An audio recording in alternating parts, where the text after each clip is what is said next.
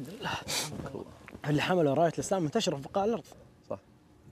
لكن تخيل من الشمال من جنوب فرنسا لين هنا يعني عرب في يعني في ناس عرب هناك. يعني من من من تعدد الأجيال والسنوات. في كل مكان. طبيعي جدا إنك تلقى يعني. بس ترى غريب الربع بالسودان. في قبائل عربية من عندنا راحت السودان. بس نفس طبايعهم. عندنا قريب هنا. في قريب أيام القنص والصيد. لا لا يروحون لا يستوطنون. لا لا لا, لا قبائل مستوطنة. وش قنص ومين؟ لا لا قريب يعني. قبائل قبائل الر- مستوطنة. الرشايدة اي رشايدة عرب من من الجزيرة إيه. العربية. من الجزيرة العربية وغيرهم بعد. حتى لهجتهم. يرجعون في. لهجتهم والله تقول إنهم يا رجل من بطن هرد أيوه ط- لهجة سبحان الله. هي استوطنوا هناك إيه. من زمان وحافظوا على أخرجوا شيء عليه الصلاة والسلام. تدري- وأنا مقطع تدري في قبائل في السودان إنها ما تتكلم اللغة العربية. سبحان الله.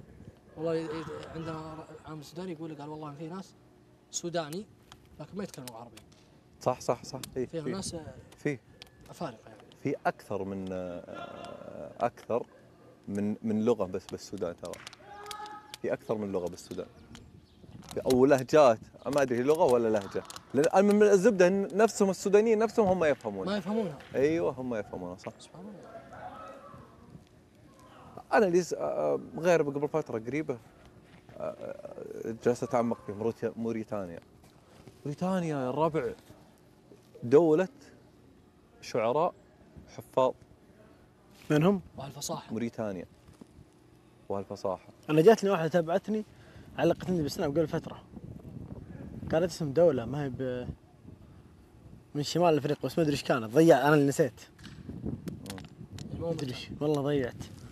وتكتب آه، فصحى. تراهم تقول فصحى. يمكن ما أدري وش كان. الدولة لكن أقصد أذكر حتى السناب عندهم تقول أنا كنت كابتشر انزل تعليقات. إيه. يعني هذا سياد. طبيعة طبيعتي في السنابات يعني كذا. فتكتب ذكرت قلت عربية فصحى فكانت تقول البرنامج هذا مو قوي عندنا اللي هو السناب سناب. إيه. هم يعني فكانت. تسألني ليش إيش تسوي أنت؟ ليش؟ فكانت ترد على كل سناب الحال يعني يعني بغير برنامج عليها فعلمتني. قلت أنا متابعتك من المكان الفلاني. أدري إيش شمال آه، أفريقيا. إيش عاصمتها ش... آه، والله إني ضيعت. موريتانيا؟ ما أدري والله. موريتانيا. لا. حط له موريتانيا. في حرف الشين وحرف الطاء. شط شويط. لا شنقيطي. أتوقع إنه شنقيط. ولا ما شنقيط. خميس مشيط. لا لا لا لاني أعرف لأني أعرف نسيتها. آه قبائل من هناك اللي يجيك فلان الشنقيطي. الشنقيطي. الشيخ في منهم الشيخ شيخ أيوه بس آه أصوله موريتانية ولا هو سعودي؟ أوه الشيخ شنقيطي. الشيخ خلاص الشنقيطي حطوه هناك. شنقيط. شنقيط مو وين؟ مدينه ما أدري أنا والله. هي شنقيط من موريتانيا. والله. إلا والله إني مر علي شنقيط هذه. بس شنقيط مو والله انه مر علي دقيقة دقيقة. مر علي شنقيط. لا شنقيط مو موريتانيا. مر علي سمعها من سعيد كملي. سيدك كمل يا الله يا أخي. جميل يا أخي إذا في, في يا أخي الرواية. جميل يا. أخي قصصي أنا أخذ مصدر من اثنين من غير قصور في باقيين. اثنين. آه، موحى الروقي. أدخل السلام عليكم مو أبو سالم. معلوم فلان كذا يرد علي. خلاص أخذ مصدر. من غير قصور في الباقيين تمام؟ اي في التاريخ. سعيد الكملي أنا أدخل افتح يوتيوب وأسمع مقطع له. فلان عن فلان مثلا جاء واحد يقرأ. أنا الحين أنت تقرا عن حديث هو كذا ما شاء الله عليه فلان عن فلان عن فلان عن ما يقرا قال فلان يعني حديث أو أو رواية أو شيء ايا كانت يعني. فيقول غلط هذا فلان عن فلان عن فلان فلان هذا الثالث أو الرابع غلط. اللي اسمه فلان ابن فلان ابن فلان اللي كذا اللي سيرته كذا اللي صار له كذا ولا شيء. كذا. ما شاء الله ولا شيء يلخبط فيه. عشان كذا ناخذه كمصدر يقولون يعني بالناس اسمع. صالح المغامسي أقرأ بعده أي واحد أقرأ بعده يعني ليش؟ لأني مثلا سمعت صالح صالح آه صالح آه عبد المحسن يقول معلومة أنا أعرفها. فيقولها إيش؟ بأسلوبه. هذا صار معي في حياتي أنا. كان أخوي واحد من اخواننا الله يرحمه يقول السالفة وأنا أعرفها. ثم بعد فترة انشده منها أنا ملقوف انشد بالذات علوم الأولين. فيعطينيها بأسلوب ثاني. يعني تغيير شيء بسيط. أحيانا أعطيك تفاصيل أحيانا ما أعطيك تفاصيل في تفاصيل أنا أشوفها مهمة. ثم السالفة يعرفها مثلا صالح. تعطينا بطريقة ثانية. صح. وأحيانا سالفه أنا واقف عليها بنفسي كل يرويها بطريقته. صح. نفس الشيء المعلومات اللي نعرفها فكل يرويها بطريقته. أما سعيد الكمري فلا سمعت منه عز الله إني ما أقرأ. إي إيه، حتى- يعني وفاة الرسول عليه الصلاة والسلام. اللهم صل وسلم عليه. أنا كنت قاريها بس بكتابين الرحيق المختوم وهذا الحبيب محمد صلى الله عليه وسلم يا محب اذكرها في الابتدائي في ثالث كذا. وأذكر يعني بعض تفاصيلها. رحت قريتها في الرحيق المختوم في تفاصيل ما ذكرها. الرحيق المختوم ما ذكرت فيه. ها؟ قصدك كيف الرحيق المختوم ما ذكرت؟ ما كانت نفس اللي قرأتها في كتاب. أعتقد. إنه- جاء سعيد الكامل جاب اثنين مع بعض. جاب رواية أحمد جاب رواية عائشة. ما شاء الله تبارك الله أو أو ابن المسيب أعتقد عن عائشة. مم. أو أحمد عن عائشة المهم إنه جاب روايتين مختلفتين. مم. فكان أذكر كان يوم طيب سولف لنا عن عن وفاه النبي عليه يوم- الصلاه والسلام اللهم صل وسلم. اللهم صل وسلم. يا أخي تحزني يا أخي. والله إنه يحزن. مرة فتحت space كان بداية طاقتك. تحول الموضوع إلى وفاة الرسول عليه الصلاه والسلام وامتلأ space توهقت. خلص مات الرسول رحت ذبيت على واحد من خوالي وقفلت space كان النبي عليه الصلاة والسلام يوم رجع من حجة الوداع. طبعا كان في حجة الوداع يقول آه، خذوا عني مناسككم فلعلي لا ألقاكم بعد عامي هذا. بعد عامي هذا إيه، وكرره مرتين. عند جمرات والله ما أدري وين الثاني فيه. رجع وبعدها بأيام كان مودي جنازة ل يصلي على جنازة وهو راجع جاه الصداع. حتى انهم من شدة الحرارة يحسون بها من وراء عمامته المستعم فيها لا إله طبعا هو في حديث عن النبي صلى الله عليه وسلم إن معنى الحديث الأنبياء يضاعف لهم البلاء. يعني الصداع اللي جاني وياك قبل شوي خفيف يجيهم دبل الدبل ليضاعف لهم الأجر يوم القيامة. إيه. ف رجع وكان تعبان. حتى كانت تقول عائشة ورأساه السلام قال بل أنا ورأساه يا عائشة. أو في روايه عائشة. تعب تعب وصلى يمكن تقريبا ممكن تجلس؟ أنا. توترني يا أخي. لا ما لا لا ده الشاهد طول العمر إنه في آخر أيامه. جاء عمرك طويل إي والله. أسلم أسلم. إي والله. إي والله. ف ف- صلى الله عليه وسلم اللهم صل وسلم آخر أيامه قال أين أنا غدا؟ أين أنا غدا؟ أين أنا غدا؟ فعرفوا زوجاته إنه يقصد يبغى يكون عند عائشة فطلع مسند عاصب رأسه أو من شدة الصداع على الفضل و... أو على ابن طالب والعباس تخاط قدمه على الأرض لين ادخلوه بيت عائشة فقعد فيها فكان في يوم في صلاة الظهر قال أصلى الناس. أو أو العشاء قال أصلى الناس. قالت عائشة لا ينتظرونك. قال أصلى الناس. قالت لا ينتظرونك. قال صبوا علي سبع قرب. أيوه. فصبوا عليه. جابوا له زي ما تقول أيوه. آه، طشت كبير. فجلس فيه صلى الله عليه وسلم وصبوا عليه. ثم صبوا عليه مويه ثانية. ثم صبوا عليه سبع. لا إله إلا الله. ثم قام. طلع المسجد صلى بالناس. اللهم صل وسلم. أو طلع المنبر عفوا طلع المنبر خطب. آخر خطبه له في حياته صلى الله عليه وسلم. اللهم صل وسلم. صل على وسلم خط يوم خطبة إيش؟ خطبة والله إني ما أبغى أدخل في ما أبغى. الخبط أتوقع في الاثنين في الخميس ما أبغى الخبط فيها. إيه. المهم إنه طلع ال- ال- المنبر آخر خطبة له لحياته من ضمنها كان يقول أيها الناس بلغوا عني السلام وبلغوا مني السلام لمن آمن بي ولم يراني اليوم القيامة. يعني انت صالح امنت بالرسول صلى الله عليه وسلم فهو, يسلم عليك. اللهم صل وسلم فأستوصوا بالنساء خيرا أوصيكم بالنساء خيرا وأوصيكم بالأنصار و يعني خطبة طويلة. قال أيها الناس من أخذت له مالا فهذا مالي فليأخذ منه. معنى الحديث طبعا من أخذت أو من يعني ضربت له يعني يعني اللي بيقتص مني يقتص. يا اللهم صل فقال إن عبدا خيره الله. بين زهرة من الدنيا يعني يأخذ نصيب من الدنيا أن يبقى في الدنيا وأن يل- يلحق الرفيق الأعلى. فاختار الرفيق الأعلى. يقول إن عبد ما حدد أحد. فقام أبو بكر رضي قال يا رسول الله فديناك بآبائنا فديناك بأبنائنا فديناك بأنفسنا فديناك بمالنا. يعني تخيل الرسول صلى الله عليه وسلم يخطب وقام أبو بكر. قلت وش أبو بكر. ما حد ما تعود الصحابة أن أحد يقطع خطبة الرسول عليه الصلاة والسلام. وسلم. يقول ابو سعيد الخدري أعتقد أحد الصحابة يقول بالله ما أدريت إنك معي. يسولف عن سيرة النبي صلى الله عليه وسلم وانت جاي متأخر فتكفى خليه يكمل. أنا طالب أدري. تكفى تكفى يمس المهم ف... صوتي بس. فكان النبي عليه الصلاة والسلام يخطب في آخر خطبة له في حياته. استوصوا بالنساء خير واستوصوا بالأنصار وصى الناس وعظهم آه، اخرج آه، خطبة طويلة. من ضمنها قال بلغوا عني السلام وبلغوا مني السلام لمن من- لمن آمن بي ولم يراني إلى يوم القيامة. فقال هذا عرضي من أخذت له مال؟ فحتى صلى بالناس ثم رجع صعد المنبر ثاني مرة. قال هذا عرضي. من يعني اللي ضربته يجي يقتص مني. هذا مالي. من أخذتم له مالا يعني هذا مالي فل- فليأخذ منه. معنى الحديث. حتى قام واحد وقال يا رسول الله أخذت مني ثلاث دنانير. قال عطه يا الفضل فضل بن العباس ولد عمه اي فكان يخطب وقال إن عبدا يعني زي ما تقول في معنى الحديث إن رجل ما حدد منه إن عبدا خيره الله بين أن يأخذ من زهرة الدنيا يعني يأخذ حق يأخذ اللي من الدنيا ولا أن يقبضها الله أو الرفيق الأعلى. فاختار الرفيق الأعلى. فقام أبو بكر قال فديناك بأموالنا يا رسول الله فديناك بأبنائنا فديناك بآبائنا فديناك بأنفسنا يا رسول الله. فالصحابة ما تعودوا إن أحد يقطع خطبة الرسول عليه الصلاة والسلام.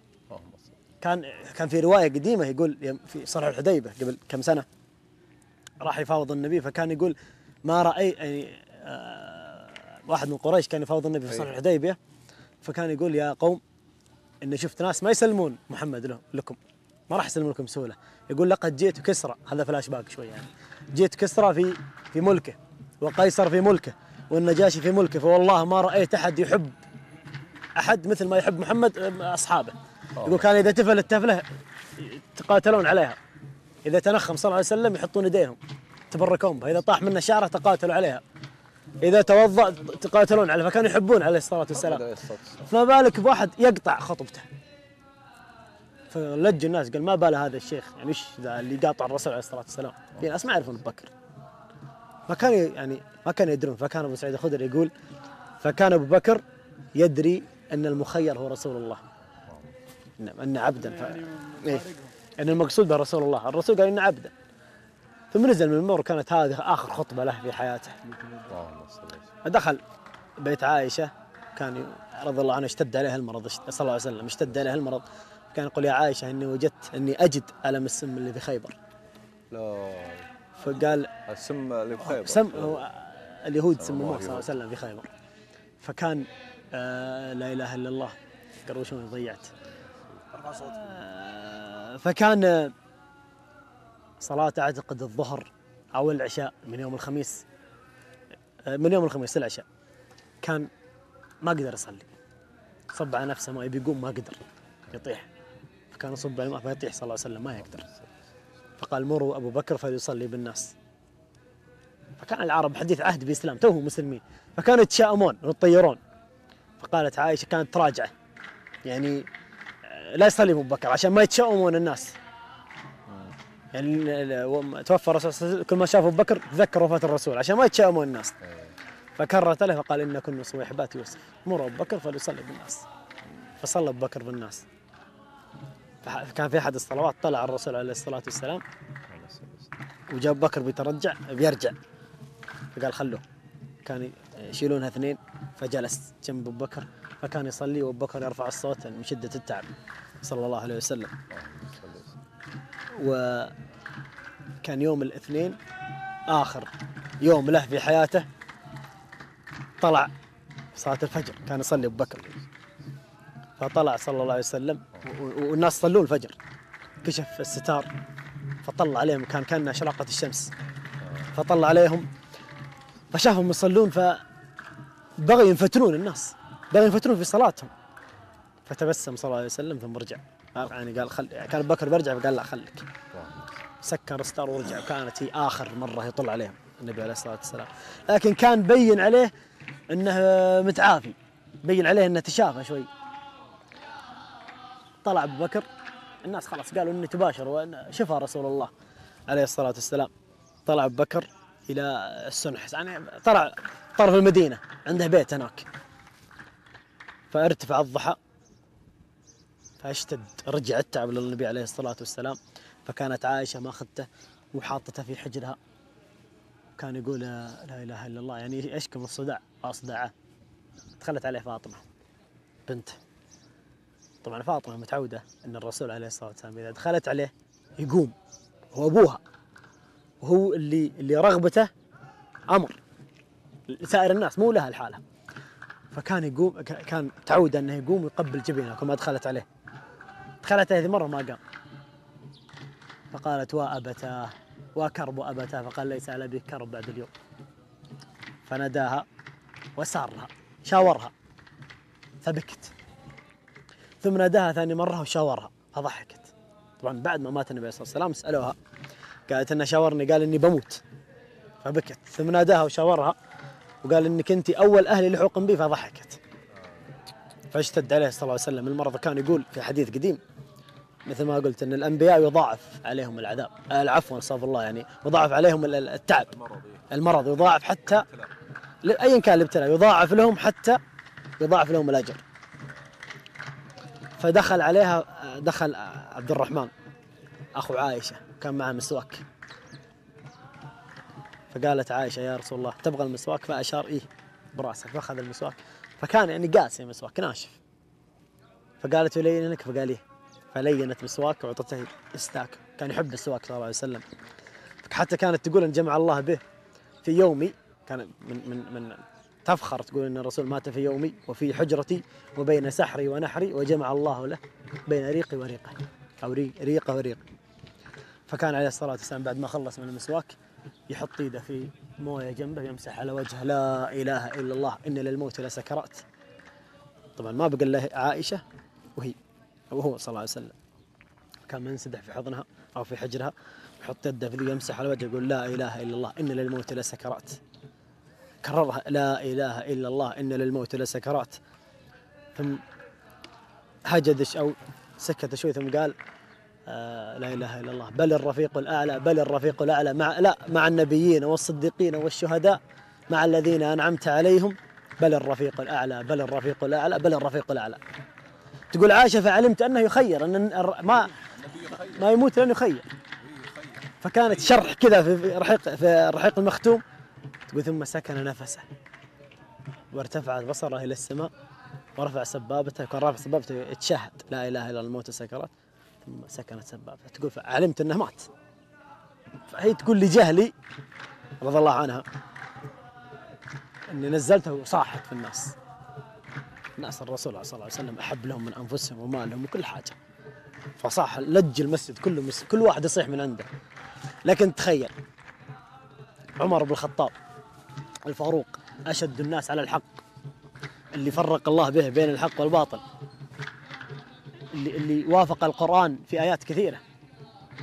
حتى النبي عليه الصلاة والسلام قبل يموت قال يعني عاهدوا إلي اكتب لكم. فكان كلهم يقولون أعطوا رسول الله خليه يكتب قبل يموت في مرضه. فقال إلا عمر.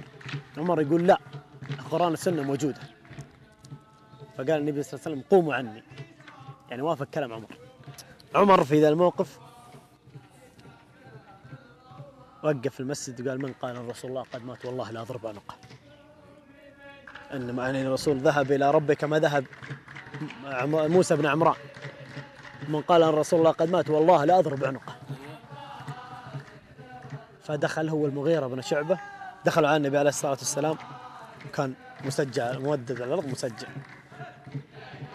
فجاء عند رأسه قال واغش إياه واغش إياه يا رسول الله. كان مو مصدق إن الرسول قد مات. فتنة صدمة. فكان بيطلع من عند الباب. فقال المغيرة بن شعبة يا عمر. مات رسول الله. مات رسول الله يا عمر. فقال عمر كذبت. ما مصدق عمر. يقول كذبت إنك تبغى الفتنه أنت. فجاء عمر بخ... آه، أبو بكر الصديق رضي الله عنه دخل المسجد. ما كلم أحد. ودخل حجرة عائشة. فلقى النبي عليه الصلاة والسلام بجسده الطاهر على الأرض مغطى. فجاء عند رأسه وكشف الغطاء عنه. ثم قبل مع جبينه. قال وخليلاه ثم قبله مع جبينة ثاني مرة قال وحبيباه ثم قبله ثاني مرة مع جبينة قال ورسولاه ونبياه والله لا اجمع عليك. الله موتين في الدنيا وفي الآخرة ثم طلع. العمر يحلف. والله ما مات رسول الله والله ما مات رسول الله فقال يا عمر أصبر يعني فقال لا ما رد عليه عمر. فطلع أبو بكر حمد الله واثنى عليه. وقال الآية المشهورة. فالناس راحوا تركوا عمر راحوا لأبو بكر. قال من كان يعبد الله فإن الله حي لا يموت. ومن كان يعبد محمد فإن محمد قد مات. كان يعبد الله فإن الله حي لا يموت. يقول عمر فلما سمعت أبو بكر قال تلا آية إنما محمد آه، لا إله أعوذ من الشيطان الرجيم محمد ابا احد من آه، إن محمد أفإن مات أو قتل أفإن مات أو قتل انقلبتم على عقابكم إلى آخر الآية. وما محمد إلا رسول قد خلت من قبله رسل فإن مات أو قتل انقلبتم على عقاب. إلى آخر الآية. يقول عمر يوم سمعت الآية هذه يقول ما قدرت تشيلني رجولي يقول أبى أتحرك ما قدرت تشيلني رجولي يقول فسقطت فأغمى أغمى عليهم. أيقنت الرسول الله قد مات. عاد علينا ما دفن في اليوم الأول دفن بعده بكم يوم. فيوم دفن حتى كانت فاطمة تقول يوم يوم دفن دفنوا في الليل. ما علمنا ان الرسول قد دفن حتى سمعنا صوت المساحي ف تقول فاطمة يقول انس يوم دفن جاتنا فاطمة. قالت يا أصحاب محمد يا أصحاب رسول الله كيف طابت أنفسكم أن تدفنوا رسول الله تحت التراب؟ كيف طابت نفسي أنا دافن واحد من اخواني بغيت انجلط كيف طابت أنفسكم أن تدفنوا رسول الله؟ يقول يقول أنس يقول والله انكرنا قلوبنا حتى بغت جفتنا كيف دفنا رسول الله؟ كيف طابت نفسك تدفن التراب على رسول الله؟ يقول أنس فو- فأظلمت المدينة. يقول يوم جانا رسول الله أشرقت المدينة كل شيء.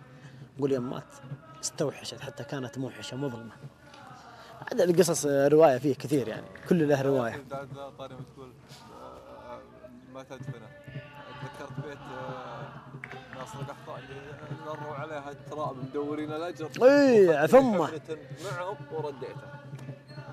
صدق. صح؟ اي والله سبحان الله اللهم صل وسلم على سيدنا محمد اقسم بالله انها قصة قصة وفاة النبي عليه الصلاة والسلام لها دروس وعبر كثيرة كل وعبر وكل. واحد له رواية لا إله. تدري ما جيت طلبني إياها من زمان ما قلتها ما يقدر رشيد